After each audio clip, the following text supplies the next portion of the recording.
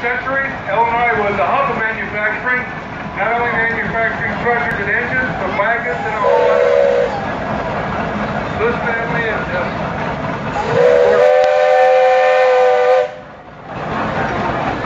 The next engine is a